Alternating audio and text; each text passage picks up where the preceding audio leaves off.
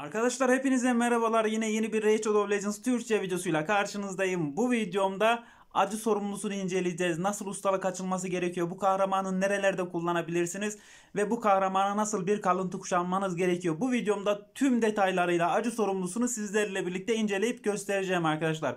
Bildiğiniz gibi acı sorumlusu ölümsüz takımda kullanılan özellikle e, bir insan yem ve bir acı sorumlusuyla yapılan ölümsüz takım bu arada kanalımda videosu da var o takımın e, kullanılan çok güzel bir kahraman ve aynı zamanda bu kahraman bireysel olarak da zindanlarda grup savaşlarında falan kullanılabilecek bir kahraman. Ama maalesef birçok arkadaşımız Acı sorumlusu elinde var ise insan yiyen çıkana kadar bu kahramanı hiç kasmıyor bile. Halbuki hani güzel bir şekilde kasılırsa zindanlarda çok ciddi anlamda katkısını görebileceğimiz bir kahraman. Ve bu kahraman nadir bir kahraman. Kitaplaması da oldukça kolay, kasılması falan oldukça kolay olduğu için halbuki bu kahramanı kassak inanıyorum arkadaşlar birçok arkadaşımızın zindanda gerçekten işini görecektir. Ve grup savaşlarında e, Kara Elfler Endeksinde çok güzel bir şekilde faydasını görürsünüz. Takımıza gerçekten ciddi anlamda fayda sağlayacak bir kahraman.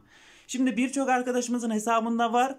Ee, ama benim hesabımda da var ama işte insan yiyen yok örnek veriyorum ben ama bu kahramanı zaman zaman hatta birçok kez kullandım ve grup savaşlarında da aktif olarak kullanıyorum bu kahramanı arkadaşlar ve Birçok arkadaşımızın elinde de insan yiyen var acı sorumlusu yok. Çıkmıyor yani çıkması çok zor bir kahraman. Bu kahramanlar e, hiçlik türü bir kahraman olduğu için sadece mor renkli taşlardan çıkıyor. O yüzden de sıkıntılı bir kahraman arkadaşlar yani çıkartması sıkıntılı aslında. Şimdi kahramanımızı inceleyelim sizlerle birlikte. Öncelikle bu kahramanın birinci becerisine bakıyoruz. Bir düşmana iki kez saldırır. Bu şampiyonun dönüş metresinde %10 dolduruyor arkadaşlar. Defans atak üzerinden bir hasar veriyor. Halbuki kahraman HP türü bir kahraman. Değişik bir beceri bu. Şimdi burada bu kahramanın dönüş metresini %10 dolduruyor arkadaşlar. Buna çok dikkat etmemiz gerekiyor.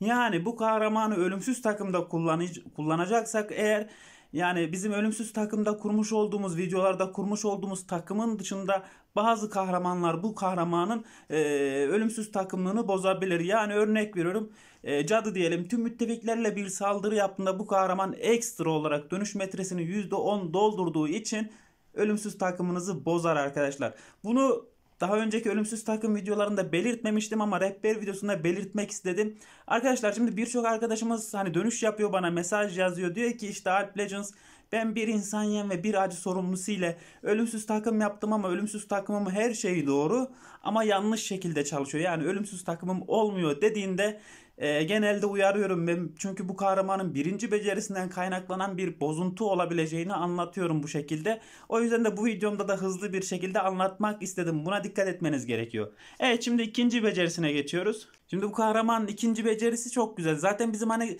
zindanlarda kullanmamıza neden olan aslında bu ikinci becerisi tüm düşmanlara saldırır ve tüm müttefikleri bu şampiyonun max HP'sinin %15'i kadarını iyileştirir arkadaşlar.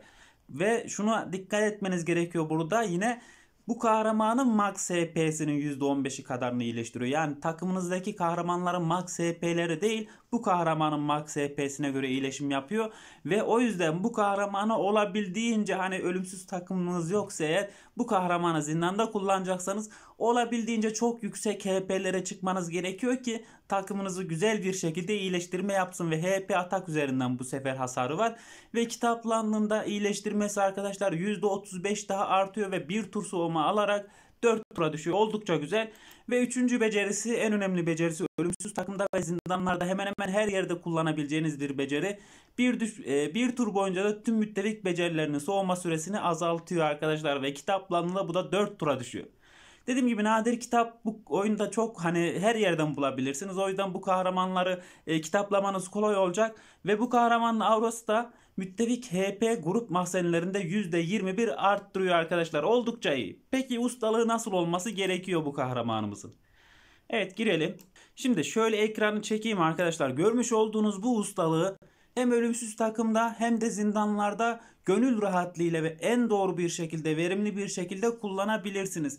Gördüğünüz gibi saldırıdan kritik orandan açtım ve can içi ustalığını açaraktan en son savaş ustasını açtım ki Klan Boss'ta da kullandığımızda bu kahramanı düşmanın max HP'sine göre ekstra bir hasar vuracağı için yüksek hasarlar verecektir Klan Boss'ta da ve destekten açtım. Aslında bizim ölümsüz takımda e, kendim hazırlamadığım için o ölümsüz takımlar yani arkadaşlar açmışlar ustalıkları o şekilde bırakmışlar. Genelde defans da açılabilir bu kahramanı aslında.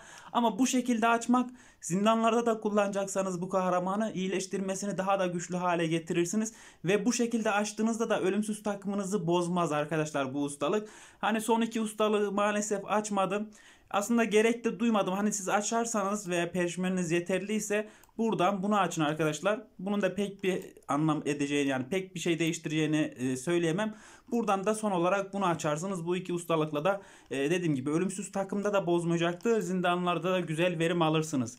Evet peki kahramanın kalıntıları nasıl olması gerekiyor? Bu kahraman hıza ihtiyaç duyan bir kahraman. Hani olabildiğince hızını yüksek tutmanız gerekiyor ve full hız seti kuşanabilirsiniz ama ben bunu Clan Boss'ta da kullanmıştım zaman zaman ve zindanlarda biraz ölmemesi için can çalma seti de kuşandım. Yani bu sayede daha dayanıklı hale getirdim. Hızını yine güzel yakaladım arkadaşlar. Yani can çalma setleriyle bile hızını güzel yakaladım. İki tane de hız setiyle bunu tamamladım. Bu şekilde takmam bence çok daha doğru, çok daha güzel. Zindanda falan çok kolay ölmeyecektir. Grup savaşlarına falan çok kolay ölmeyecektir. Yani bu şekilde çok e, güzel bir şekilde verim aldım ki daha hala bu kalıntılarını da fulllemedim. Bunu ilerleyen zamanlarda fulllerim bu kahramanın kalıntılarını. Şimdi Üste silah değişmiyor zaten ana istatistik atak olarak ama alt istatistiklerde kesinlikle hıza ve HP'ye dikkat edin. Pek güzel bir kalıntı değil ama idare ediyor şu an için. Yine Mif şeyde e, Mifer'de yine hıza ve HP'ye dikkat edin arkadaşlar. Bu HP'ler bu şekilde yüzdeli olursa çok daha güzel olur. Tabi defans da olursa işimize yarayacaktır. Ve kalkanı 12'de 16'ya atmadım daha henüz. HP ve hıza dikkat edin arkadaşlar. Bu şekilde bir kalkan olsun. Eldivenini kesinlikle HP takın bu kahramanın. HP bu kahramanın dediğim gibi HP'sini yüksek tutarsanız yapacağınız iyileştirme de yüksek olacaktır. Göğsünü de HP takın. Yine alt istatistiklerden hız yakalamaya çalışın. Ayakkabısı da kesinlikle hız olacak bu kahramanın. Yüzü HP olacak. Alt istatistiklerden yüzdeli HP'li yüzükler çok daha iyi olacaktır. Tılsımı HP olacak. Ve sancağı da yine HP olacak. İsabete ihtiyacı yok bu kahramanın arkadaşlar. Herhangi bir şekilde isabet kasmayın. Hani direnç kasmayın. Kritik oran, kritik demeç. Aslında kritik oran, kritik demeç kasılabilirse çok daha güzel olabilir ama kasılmasa da bu kahramanı dayanıklı hale getirebilmek için en önemlisi, en önemlisi e, HP ve hıza sonrasında da isabete ihtiyacı var. Şey pardon defansa ihtiyacı var bu kahramanın arkadaşlar ama defans kasmasanız da max HP'lere çıkmaya çalışın. Şimdi kahramanı zindanlarda kuşanacağız, göstereceğiz zindanlarda ama toplam istatistiklerine bir bakalım yine şöyle. Evet gördüğünüz gibi sağlık puanı 6000 şey 60 bin oldukça güzel bir sağlık puanı. Güzel iyileştirmeler yapacaktır. Ve saldırısı ata e, pek önemi yok aslında. Savunmasının bir tık daha yüksek olsaydı alt istatistiklerden çok daha güzel olurdu. Ama bu şekilde de idare edebilir. Hızı 203 Ölümsüz takım olmadığı için ben de bu kahramanı normal hız ayarı yapmadım. Yani e, olabildiğince yüksek hızlara getirip zindanlarda kullanmaya çalıştım. Kritik oranı ideal, kritik demeci ideal. Olmasa da olur, olursa iyi olur tabii ki. Direnci olmasa da olur. İsabete hiçbir şekilde ihtiyacı yok arkadaşlar bu kahramanın. Bu şekilde oranları yakalarsanız bu kahramandan güzel verim alırsınız ki daha yükseltmediğim kalıntıları da var. Şimdi gidelim zindanlarda biraz kullanalım bu kahramanı. Bakalım nerelerde kullanabiliriz. Evet zindanlarda şu görmüş olduğunuz tüm bölümlerde hatta Minotaur'un labirent, labirenti de dahil olmak üzere bu beşli altılı yerde hepsinde iş yapabilen bir kahraman. Buz golleminde kesinlikle iş yapar. Hani e, donmalar sırasında e, takımınızın canlı iyileştirecek bir kahraman. Ejderi hayvasında çok güzel bir şekilde iş yapabilir. Ejderi hayvasının hasarından sonra takımınızın canlı iyileştirebilecek ve max HP'ye göre vuran kahramanlarınızın e, turlarını soğuma turlarını bir tur daha azaltacağı için Ejder hayvasında da çok güzel. Ateş şövalyesinde de hani çok güzel dedim yani kullanılabilir arkadaşlar öyle ahım şahım abartılı bir özelliği yok ama kesinlikle kullanılabilir. Ateş şövalyesinde de kullanılabilir ve örümcekte de kullanılabilir bu kahraman. Rengi mor renk olduğu için hiçbir renge baskın ve hiçbir renkte buna baskın olmayacağı için takımınızı güzel bir şekilde koruyacaktır. Ama biz burada nerede kullanalım? Evet örümcekte kullanalım bir. Evet örümceğin 20. bölümünde kullanalım arkadaşlar. Örümceğin 20. bölümü en zor bölüm en son bölüm zaten. Evet takımımız bu şekildeymiş. Yani aslında şöyle yapalım mı? Bunları hiç kullanmayalım çünkü çok basit olmasın. Biraz böyle takım zorlansın istiyorum. Ee, biraz daha epik şey epik ve nadir kahramanların olduğu bir takım kurmak istiyorum. Ve şöyle yapabiliriz. Evet şöyle yapabiliriz.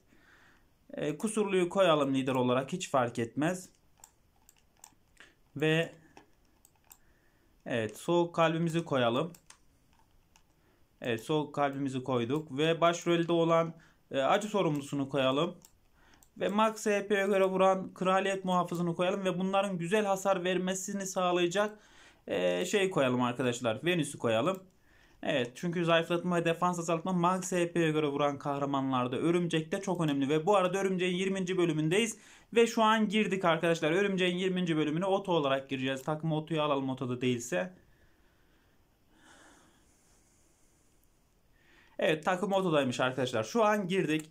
Bakalım takımımız nasıl işleyecek ve nasıl olacak. Evet. Zayıflatma ve defans azaltmayı verelim. Çok önemli. Max HP'ye göre vuran kahramanların olduğu takımda zayıflatma ve defans azaltma çok önemli arkadaşlar ki yüksek hasarlar vurasınız. Yoksa diğer türlü bayağı işiniz uzun sürecektir. Ve şu an acı sorumlusu maalesef bir uyku aldı. Evet. Venüs hem zayıflatma veriyor hem defans azaltma veriyor. Aynı zamanda e, HP yanığı da veriyor e, küçük örümceklere. Ondan dolayı çok güzel bir kahraman bana göre örümcekte. Ve küçük örümcekler soğuk kalbe vurdu. E, o biraz kötü oldu. Soğuk kalbimizi öldürebilirler aslında. Ama acı sorumlusunun e, azaltmaları, beceri azaltmaları kusurluya çok güzel bir şekilde denk gelirse e, ard arda kalkan verirse kurtarabiliriz soğuk kalbi. Bakalım, bakalım arkadaşlar. Evet. Şimdi evet acı sorumlusuna tekrar bir sıra gelsin. Yapacağı iyileştirmeyi göreceğiz arkadaşlar. Evet acı sorumlusuna tekrar sıra geliyor. Evet tekrar sıra gelsin bakalım. Şu an can çalma seti olduğu için kendi canını iyileştiriyor sadece ama ikinci becerisi devreye girdiğinde o 4 turda bir devreye giriyor. O zaman tüm takımın canını iyileştiriyor. Üçüncü becerisi devreye girdiğinde de e, müttefiklerinin soğuma sürelerini bir azaltıyor arkadaşlar. Evet şöyle son vuruşları yapıyorlar herhalde. Evet. Burada soğuma sürelerini azalttı. Şu an şu an arkadaşlar soğuk kalbin 3. becerisi ölmese eğer direkt aktif olacaktı ama olmadı. Öldü maalesef ama sorun yok. Şu an şeye döndüler ve burada kalkan tekrar aktif oldu. Evet şimdi son bir kez kraliyet muhafızı Max HP'ye göre vurduğunda örümceği geçmiş olacağız arkadaşlar. Evet şu yapmış olduğu tüm düşmanlara vuruşu da güzel yani. Daha ben kritik oran kritik demeç kasmadım. Hani kritik demeç kritik oran kasarsak da oradaki vuruşlar da güzel olacaktır. Bu arada çok güzel bir ee, şey verdi. Sancak verdi. Altında hız var. Hız olduğu için bunu tutacağım arkadaşlar. HP türü bir kahramana kesinlikle e, bu sancak çok güzel olacaktır. Güzel oldu. Evet. Peki bir tek örümcekte mi kullanabiliriz bu kahramanı? Şöyle e, haritaya dönelim tekrar. Yani söylediğim gibi birçok yerde kullanabilirsiniz arkadaşlar. Yani şu görmüş olduğunuz zindanların birçok bölümünde kullanabilirsiniz. Ben video uzun olmaması için burada videoyu sonlandıracağım. Ee, bu şekilde rehber videolarını elimden geldiği kadarıyla e, bir tane zindan bölümü tamamlayarak e, geçmeye çalışıyorum. Arenada başarılı bir kahraman mı? Arenada çok başarılı bir kahraman değil maalesef. Ama grup savaşlarında, sefer mevkilerinde, zindanlarda, kıyamet külesinde filan kullanılabilecek bir kahraman. Zaten Klambos'ta ölümsüz takım yapılıyor bu kahraman ile. Evet girelim son kez de inceleme notlarını verelim acı sorumlumuzun. Evet şöyle neredeydi kahramanımız? Evet burada acı sorumlusu acı, acı sorumlusunun inceleme notlarını verelim. Klambos'ta yani bireysel olarak kullandığımızda çok başarılı bir kahraman değil ama ölümsüz takımda başarılı bir kahraman. Bence 5'i hak etmiyor arkadaşlar. Bu kahramana 5 verirsek e, diğer 5 hak eden kahramanlara ayıp etmiş oluruz. O yüzden ölümsüz takımda işimize yaradığı için bu kahramana 4 veriyorum. Bireysel olarak çok fazla. Yani kullanışlı da çok çok iyi değil. Sefer mevkilerinde dördü hak eden bir kahraman bana göre. Yani e, güzel denk getirirseniz sefer mevkilerinde e, iki yıldızlı kabusta özellikle iki yıldızla geçebilirsiniz yanına güzel bir hasar veren kahraman ile. Örümcek yuvasında biraz önce kullandık. Çok başarılı olması da yine dördü hak eden bir kahraman. Arena saldırısında üçü hak eden bir kahraman. Hani 3'ten sonra aslında arenada şöyle bir taktik de yapabiliriz bu kahraman ile. Hani hasar verenden sonra bunu e, ikinci hızlı kahraman yapabilirsiniz.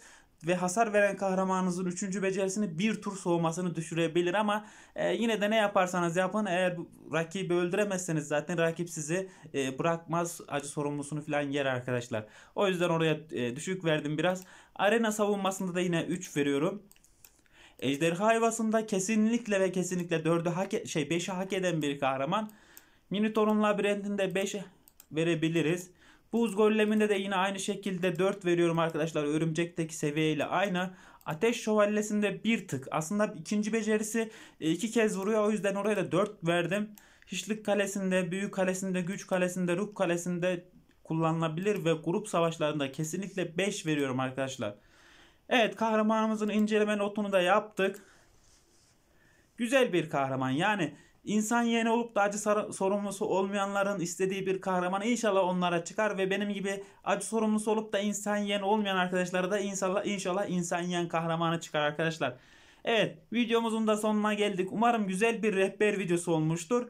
Ee, dediğim gibi bu kahramanda dikkat etmeniz gereken husus şu birinci becerisine dikkat edin. Birinci becerisi ölümsüz takımınızı bozabilir. O yüzden videolarda göstermiş olduğum takımlar içerisinde takım oluşturun. Örnek veriyorum müttefik saldırı veren kahramanlar, ka- karşı saldırı kullanmadığımız takımlarda karşı saldırı kullanırsanız bu kahramanın bu becerisi e, takımınızı sıkıntıya sokabilir. Evet umarım güzel bir video olmuştur ve kendinize çok çok iyi bakın. Sağlıcakla kalın. Hoşça kalın arkadaşlar.